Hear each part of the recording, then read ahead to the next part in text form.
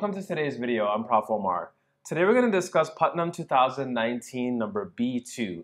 And this is a problem that involves a sum of trigonometric functions and asks for a limit involving them. So we'll let an be this sum right over here. It goes from 1 to n minus 1 of this trig function in terms of sine divided by the squares of these cosines. Maybe a quick observation, the coefficient beside pi over 2 here is the sum of the coefficients in these ones here and it asks us to find the limit as n approaches infinity of an over n cubed. All right, so the process we're going to go through to do this is the following. We're going to change all our trigonometric functions so that they're all in terms of the sine function. So to do that, we're going to change the index by swapping k and n minus k. And that won't do anything to this sum because the sum goes from 1 to n minus 1. So 1 will become n minus 1, and n minus 1 will become 1. So we'll have the same sum but it'll change these arguments here into things in terms of the sine function. Secondly, once we have everything in terms of the sine function, this is a perfect example of a type of problem where using asymptotics to understand what's going on by analyzing power series actually helps you develop an understanding of what the limit ought to be. So the way we're going to do that is think about the Taylor series expansion of sine for small values of x. All of these values are going to be between 0 and pi. And so sine of x looks really close to x, is just off by an order of x squared here. So we're going to use that and then exploit that with asymptotics to actually figure out what the answer to this is. So if you want, give this a try, change things in terms of sine, and look at this asymptotics to approximate sine x by x for these general values and see what you can come up with. Okay, so let's address this first issue of interchanging k and n minus k and seeing what happens to each of these values. So here, our sine will change to twice n minus k minus 1 pi over 2n, which is the sine of, we have a 2n pi, so we'll get a pi out here, and then we'll have a negative 2k and a negative 2. So I'll make that a minus of the quantity 2k plus 1 pi over 2n. Okay, and sine of pi minus an angle is sine of that angle, so this becomes sine of 2k plus 1 pi over 2n. All right, so let's look at these cosines. So when we interchange k for n minus k in, let's take this one because it just has a little bit of a simpler expression. This becomes cosine of n minus k pi over 2n. And this is cosine of, now pi over 2 is the first coefficient, is n pi divided by 2n, minus k pi over 2n, which now actually becomes the sine of k pi over 2n. Okay, so this will turn into a 2k plus 1 instead of a 2k minus 1. And in the denominator, this cosine squared pi k pi over 2n becomes sine squared k pi over 2n. And we'll have the same phenomenon that happened here with this cosine, with this cosine as well. So what I'm going to do is insert these three here and change our expression to be in terms of these things right over here and what changes for this cosine as well. Okay, so we've rewritten this expression here in terms of sines. So what I want to do now is analyze the type of situation we have going on, which looks like something like this sine of alpha over n, if we take alpha to be these values right over here, because k doesn't exceed n minus 1, these all values are all between 0 and n.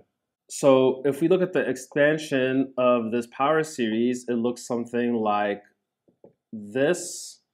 And we can factor out an alpha over n to get 1 plus.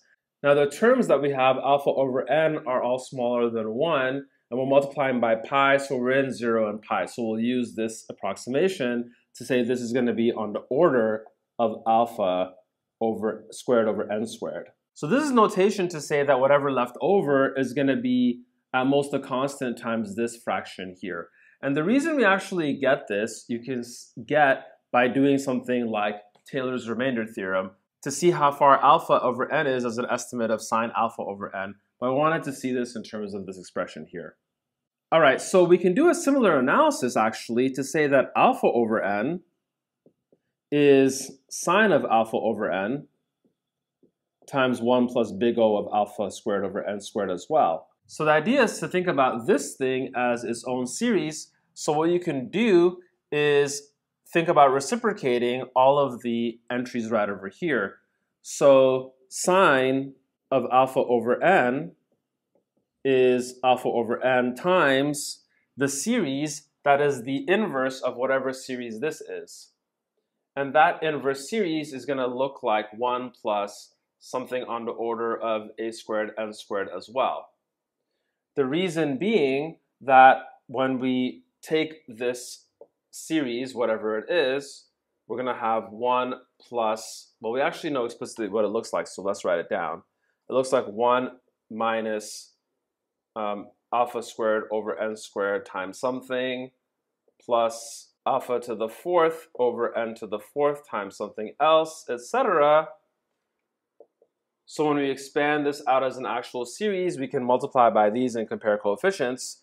The first term is going to be a 1. We won't have any alpha over n term because we need a 0 here for that. Then we get some constant times alpha squared over n squared appearing so that this cancels out with this. We actually get the same constant that we had before with a plus.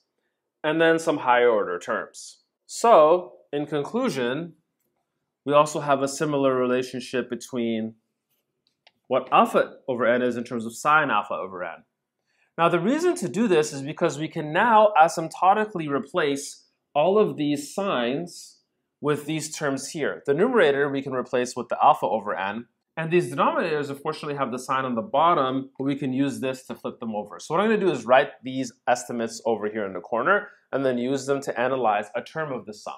All right, so peeling off a term of the sum, in the numerator, we're gonna have our alpha being this entire thing right over here. So we get this as 2k plus 1 pi over 2n times 1 plus big O of, I'm gonna write this as alpha squared over n squared, where alpha is this constant right over here that doesn't involve the n.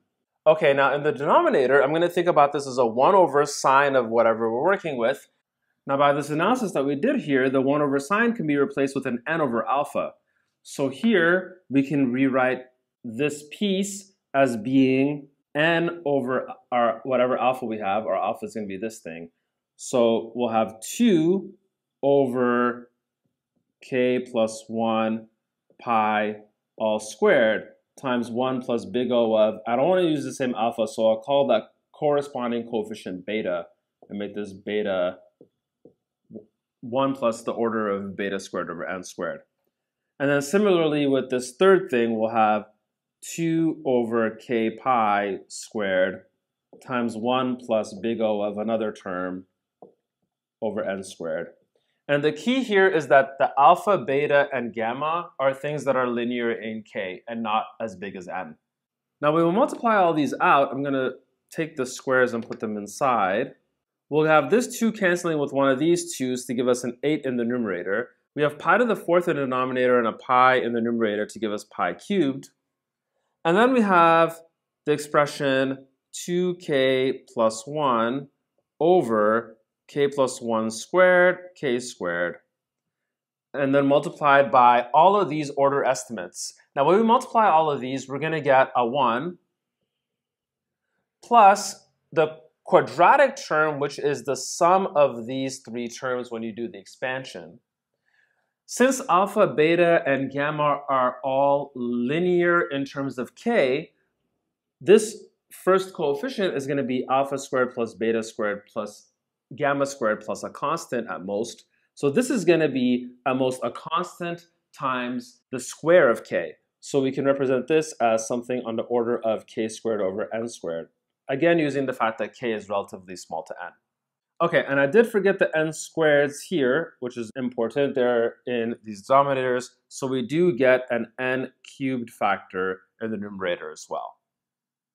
Okay, so if we expand this, each term is going to look like 8 over pi cubed times 2k plus 1 over k plus 1 squared, k squared, times n cubed, plus whatever this estimate is when we multiply these out. Let's see what this is on the order of. This is on the order of k squared, n squared. Here, in terms of k, we have this linear factor, and then we have this fourth power, so we get a 1 over k cubed. So here we'll have a k on the denominator, and then we have this n cubed and this n squared, so we'll have something on the order of n over k. So here is the asymptotics of our general term of this series. And so what we're going to do now is take this and add all the terms up and see what we get. Okay, so here's our a sub n with the replacement that we did with each of the terms. Now, our goal is to find the limit as n approaches infinity of a sub n over n cubed. So we'll divide this n cubed out. Here, we'll get this expression over here. And then here, we'll get 1 over kn squared. All right, so first let's analyze this term here. So this term is going to be 1 over n squared times the sum of these reciprocals, 1 plus 1 over 2 plus up to 1 over n minus 1, times a constant. We have this big O notation here saying this is less than or equal to a constant times this. Now, this can be approximated in many ways. If you just happen to know what the approximation is, that's fine. You can think about this as a sum involving 1 over x, a bunch of terms from 1 over x. So this can be approximated using something like the integral test by this integral, which is log. So this is roughly a constant times log n. So this entire sum is on the order of log n over n squared. And as n goes to infinity, this actually goes to zero. So this entire term disappears in the limit. So the only thing that we're actually really interested in is this sum right over here. All right, so let's analyze it. This sum is 8 over pi cubed times the sum k equals 1 to n minus 1 of this quantity here. And we should have a big hint here. This quantity here is k squared plus 2k plus 1. This is k squared. So their difference is actually this numerator right over here. As a consequence, we can represent this as the sum k equals 1 to n minus 1 of 1 over k squared minus 1 over k plus 1 squared. Okay, and now you notice that this sum is going to telescope. We'll have 1 over 1 squared minus 1 over 2 squared, and then 1 over 2 squared minus 1 over 3 squared, so the 1 over 2 squared is canceled. Then 1 over 3 squared minus 1 over 4 squared, so the 1 over 3 squared is canceled, etc. So the only thing we're left with is this first term, which is a 1, minus the last term, which is 1 over n squared. Okay, so that's what this term is here in asymptotics. We want to know what happens that as n goes to infinity. This term here goes to 0, and so we're left with 8 over pi cubed as our final answer. So one thing I really like about this problem is even though it's kind of rigorously hard to write it up, you get a sense of what is actually going on in the limit. That's the thing we care about. And we did this by really exploiting estimates that you can get using power series expansions. This is a really powerful way to find limits in general if you don't know what limits are, especially when you're using a bunch of trigonometric functions. So a perfect example of a follow-up problem that you can try to test this understanding is try to find the limit as x approaches zero of this entire expression here. And the idea, again, is to use power series expansions to get a sense of what's going on with each of the terms, eliminating the terms that don't dominate the expressions. So give this a try and leave your thoughts about it in the comments. What kind of things did you try? What did you tackle? Did things work out? And what answer did you possibly get? So thanks for watching today's video. If you liked it, definitely click the like button. And if you want to see more videos like this, subscribe to the channel.